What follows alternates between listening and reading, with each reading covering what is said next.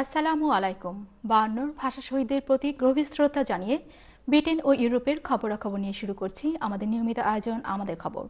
বার্তা কক্ষে আপনাদের সাথে আছি আমি তাহমিনা দাওয়ান মিমি। শুরুতে জানিয়ে দিচ্ছি আজকের খবরের প্রধান প্রধান শিরোনাম।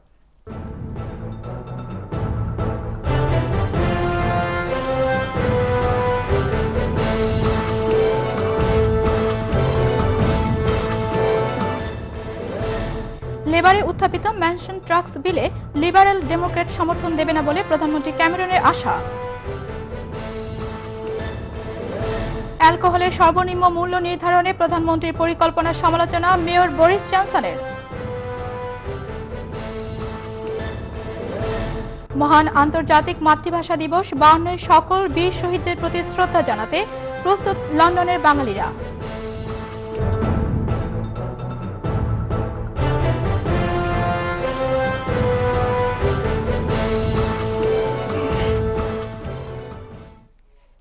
শুনছিলেন খবরের প্রধান শিরোনামগুলো, এবার বিস্তারিত।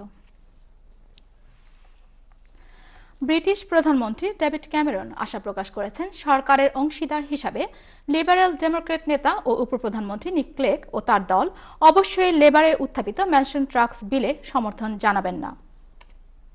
উল্লেখ্য যে দুই হাজার দশ সালে ব্রিটেনের নির্বাচনের পূর্বে লিবারেল ডেমোক্রেটের নির্বাচনী ইস্তিহারে এই ইস্যুটি থাকলেও কোয়ালিশন সরকার গঠনের পর এই ইস্যুটি বাদ পড়ে যায়। তবে গত সপ্তাহে ব্রাডফোর্ডে একটি ট্রেনিং সেন্টারে পরিদর্শনকালে লেবার নেতা অ্যাড মিলিব্যান্ডের ঘোষণায় এই ইস্যুটি আবারও আলোচনা উঠে আসে। এ ঘোষণায় লেবার নেতা বলেন, আগামীতে ক্ষমতায় গেলে ম্যানশন ট্রাক্স সংগ্রহের মাধ্যমে সাধারণ কর্মজীবীদের বেনিফিট প্রদানের মাধ্যমে সহায়তা করা হবে। এদিকে ডেপুটি প্রধানমন্ত্রী নিকলেক বলেছেন এই বিষয়টি নিয়ে তিনি ইতিমধ্যেই অর্থমন্ত্রী চ্যান্সেলর জর্জ অসবর্নের সাথে নতুন করে কথা বলেছেন। এছাড়া একটি টেলিভিশনকে দেয়া এক সাক্ষাৎকারে লিবারাল ডেমোক্রেট সবসময় এই ইস্যুটির পক্ষে ছিল বলেও তিনি জানান। তিনি আরও বলেন, আমি বিশ্বাস করি এখন এই ইস্যুটি আরও বেশি উপযোগী হয়েছে এবং কোয়ালিশনের পক্ষ থেকে সাড়া দেয়া হবে। তবে ভারত সফররত প্রধানমন্ত্রী ডেভিড ক্যামেরন গণমাধ্যমের এক প্রশ্নের উত্তরে এই ইস্যুটি লেবার মূলত লিবারাল ডেমোক্রেটের সাথে আগামীতে কোয়ালিশন গঠনের জন্যই করেছে বলে অভিযোগ করে এই ইস্যুটি ছাড়াই বর্তমান কোয়ালিশন সরকার ভালো কাজ করার চেষ্টা করছে বলে অভিমত ব্যক্ত করেন। অ্যালকোহলের সর্বনিম্ন মূল্য নির্ধারণে প্রধানমন্ত্রী ডেভিড ক্যামেরনের পরিকল্পনা সমালোচনা করেছেন লন্ডনের মেয়র বরিস জনসন। তার মতে, এই পরিকল্পনার মাধ্যমে কোনো মতেই অতিরিক্ত অ্যালকোহল পান বন্ধ করা যাবে না। এছাড়া প্রধানমন্ত্রী কর্তৃক গৃহীত এ নীতি দরিদ্র জনগোষ্ঠীকে কেবল ক্ষতিগ্রস্তই করতে করবে বলে তিনি উল্লেখ করেন।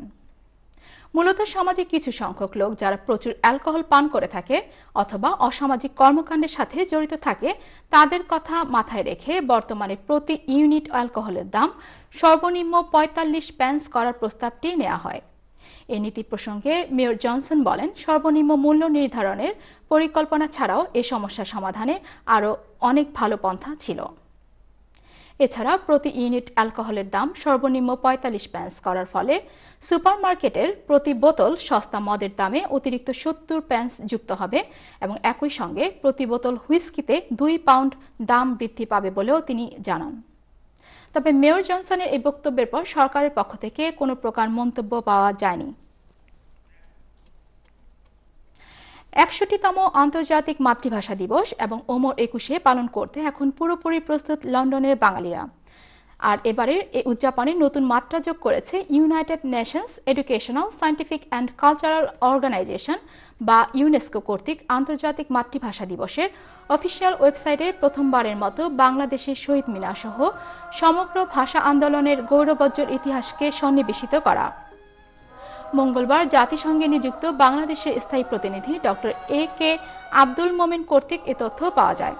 জানা যায়, ইউনেস্কো তাদের আন্তর্জাতিক মাতৃভাষা দিবস বা international mother language day IMLD এর অফিসিয়াল ওয়েবসাইটে এই প্রথমবারের মতো আমাদের জাতীয় শহীদ মিনার এবং ভাষা আন্দোলনের গৌরবজ্জ্বল ইতিহাস সন্নিবেশিত করেছে। এর মাধ্যমে বাঙালির ইতিহাসে যোগ হলো আরেকটি পালক। এছাড়া জাতিসংঘ ভবনের অভ্যন্তরে জাতীয় শহীদ মিনারের ন্যায় একটি রিপ্লিকা মনুমেন্ট স্থাপনের বিষয়েও জাতিসংঘ সম্মত হয়েছে বলে জানা যায়। উল্লেখ্য যে উনিশশো নিরানব্বই সালে ইউনেস্কো কর্তৃক একুশে ফেব্রুয়ারিকে আন্তর্জাতিক মাতৃভাষা দিবস হিসেবে স্বীকৃতি দেওয়ার পর দুই হাজার সাল থেকে এই দিনটি বিশ্বব্যাপী পালিত হতে থাকলেও ইন্টারন্যাশনাল মাদার ল্যাঙ্গুয়েজ ডে এর ওয়েবসাইটে আমাদের শহীদ মিনারের ছবি অন্তর্ভুক্ত করা ছিল না। এবার ওই প্রথম বাঙালির গৌরব কথা একুশে ফেব্রুয়ারি আন্তর্জাতিক মাতৃভাষা দিবসের পটভূমি সালাম বরকত রফিক শফিকদের বুকের রক্তে রাজপথ রঞ্জিত করার ইতিহাস বিশ্বব্যাপী জানার সুযোগ পেল। এছাড়া এবারের মাতৃভাষা দিবস উপলক্ষে ইতিমধ্যে জাতিসংঘ ওয়েবসাইটে রেডিও লিঙ্কের মাধ্যমে বাংলায় ওয়েবসাইট চালু এবং সংবাদের ক্লিপিংও পরীক্ষামূলকভাবে সংযোজন শুরু হয়েছে। মহান মুক্তিযুদ্ধে মানবতা বিরোধী অপরাধের অভিযোগে অভিযুক্ত ব্যক্তিদের সর্বোচ্চ শাস্তির দাবিতে শাহবাগ সহ সারা বাংলাদেশে চলমান গণজাগরণের সমর্থনে সভা করেছে মুক্তিযুদ্ধ চেতনা বিকাশ কেন্দ্র মুক্তিযুক্তরাজ্য নামের একটি সংগঠন। মঙ্গলবার পূর্ব লন্ডনের মন্টিফিউরি সেন্টারে আয়োজিত এক সভা থেকে তারা এ সমর্থন জানান। বাংলাদেশ মিশনের সাবেক হাই কমিশনার গিয়াসুদ্দিনের সভাপতিত্বে এবং সংগঠনের সভাপতি ও বিশিষ্ট কমিউনিটি ব্যক্তিত্ব মাহমুদ হাসান এমবি এর পরিচালনায় এতে প্রধান অতিথি হিসেবে উপস্থিত ছিলেন প্রখ্যাত সাংবাদিক ও ভাষা সৈনিক আব্দুল গফফার চৌধুরী। আলোচনায় অংশগ্রহণ করেন মুক্তিযোদ্ধা আব্দুল মাবুদ, মুক্তিযোদ্ধা আহবাব চৌধুরী, মুক্তিযোদ্ধা লোকমান হোসাইন আনসার আহমেদ উল্লাহ, মাসুদ রানা সহ কমিউনিটির বিশিষ্ট ব্যক্তিরা। উপস্থিত বক্তারা এ সময় মুক্তিযুদ্ধের সময়ে যারা দেশ বিরোধী অপকর্মে লিপ্ত ছিল, তাদের শাস্তির দাবিতে সোচ্চার শাহবাগ স্কোয়ারের তরুণ প্রজন্মের সাথে একাত্মতা প্রকাশ করেন। এছাড়া সভা থেকে স্বাধীনতা চেতনাকামী একদল প্রতিনিধি ব্রিটেন থেকে বাংলাদেশে গিয়ে আন্দোলনকারীদের সাথে অংশ নেবেন বলে জানা যায়।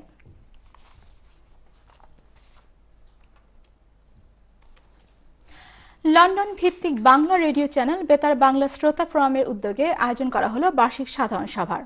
মঙ্গলবার পূর্ব লন্ডনের মন্টিফিউরি সেন্টারে এই সভা অনুষ্ঠিত হয়।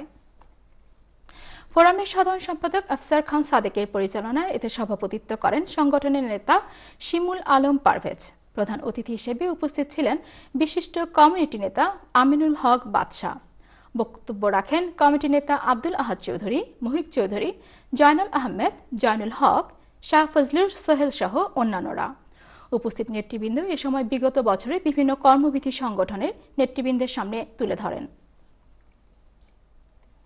সভায় ফোরামের সভাপতি আগামী তিন মাসের মধ্যে নতুন কমিটি গঠনের জন্য নির্বাচন অনুষ্ঠিত করবে বলে ঘোষণা দেন। এছাড়া সংগঠনের ব্যাপ্তি প্রসার এবং কার্যাদি আরও গতিশীল করার লক্ষ্যে এবং আগামী নির্বাচনকে সামনে রেখে অতি শীঘ্রই সদস্য সংগ্রহ কর্মসূচি শুরু করা হবে বলে উল্লেখ করেন। বাংলাদেশের স্বাধীনতা যুদ্ধকালীন মানবতা বিরোধী অপরাধীদের সর্বোচ্চ শাস্তি এবং বিচার কার্যে বাধা সৃষ্টি করার জন্য জামাত শিবির কর্তৃক কৃত্রিম রাজনৈতিক সহিংসতা তৈরির প্রতিবাদ যুক্তরাজ্য আওয়ামী লীগের হিত্র শাখা কর্তৃক এক প্রতিবাদ সভার আয়োজন করা হয়। মঙ্গলবার পশ্চিম লন্ডনের স্থানীয় এক হলে এই আলোচনা সভা অনুষ্ঠিত হয়।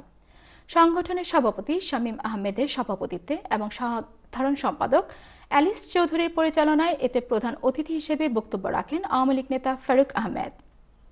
প্রতিবাদ সভায় অন্যান্যদের মধ্যে আরও বক্তব্য রাখেন মহিবুর রহমান পিন্টু, চুনু চৌধুরী, আঙ্গুর মিয়া, নার্গিস বানু, আবুল মনসুর চৌধুরী, শফিকুল ইসলাম, শোয়েব আফজাল, মোহাম্মদ শফিকুল ইসলাম শাহিন সহ আরও অনেকে। এ সময় উপস্থিত বক্তারা বলেন, ফাঁসি চাই ফাঁসি চাই স্লোগানে, আজ শুধু প্রজন্ম চত্বর নয়, সমগ্র বিশ্বে বসবাসকারী বাঙালিদের হৃদয় প্রকম্পিত হয়ে উঠেছে। বিশ্ব বাঙালিদের প্রাণের দাবি অবিলম্বে কাদের মোল্লা সহ সকল রাজাকারদের ফাঁসি রায় প্রদান এবং কার্যকর এখন গণদাবিতে পরিণত হয়েছে বলে উল্লেখ করে বর্তমান সরকারের কাছে তা পূরণের আহ্বান জানান।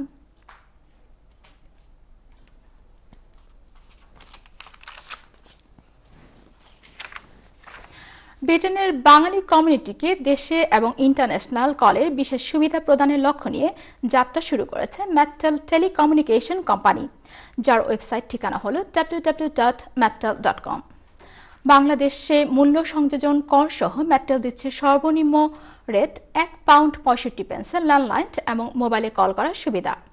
এছাড়া রয়েছে যে কোনো সময় সর্বনিম্ন তিন পাউন্ড টপ আপের ব্যবস্থা। প্রতিটি টপ আপের সাথে রয়েছে বিশেষ বোনাস পয়েন্ট পাবার সুযোগ। জানা যায়, উচ্চতর নেটওয়ার্ক প্রদান ব্যবহারের ফলে এই কোম্পানিটির গ্রাহকরা পাচ্ছে ক্লাস ক্রিস্টাল ক্লিয়ার ভয়েস পাওয়ার সুবিধা। এছাড়া রয়েছে একাধিক ল্যান্ডলাইন ও মোবাইল ফোন নাম্বার যোগ করে পিন ছাড়া কল করার ব্যবস্থা। এছাড়া গ্রাহকরা পাবে তাদের কল বৃত্তান্ত এবং খরচের লিস্ট দেখার সুবিধা। ম্যাটটেলের সদস্য হতে প্রত্যেক গ্রাহককে রেজিস্ট্রেশন করতে হবে। রেজিস্ট্রেশন করতে প্রত্যেক গ্রাহককে ইমেল অ্যাড্রেস নাম এবং ফোন নাম্বার ব্যবহার করতে হবে। আর টপ আপ করতে যে কোনো গ্রাহক ডেবিট অথবা ক্রেডিট কার্ড এবং পেপাল ব্যবহার করতে পারবে। এছাড়াও গ্রাহকদের জন্য রয়েছে কোম্পানিটির কাস্টমার সার্ভিসের বিশেষ ব্যবস্থা ব্যবস্থা। ম্যাটটেল থেকে বিশ্বের যে কোনো দেশে ফোন করার সুবিধা রয়েছে। আপনারা দেখছেন আমাদের খবর। প্রচারিত হচ্ছে চ্যানেল আই ইউরোপ থেকে যাচ্ছে ছোট্ট একটি বিজ্ঞাপন বিরতিতে। ফিরে এসে থাকছে।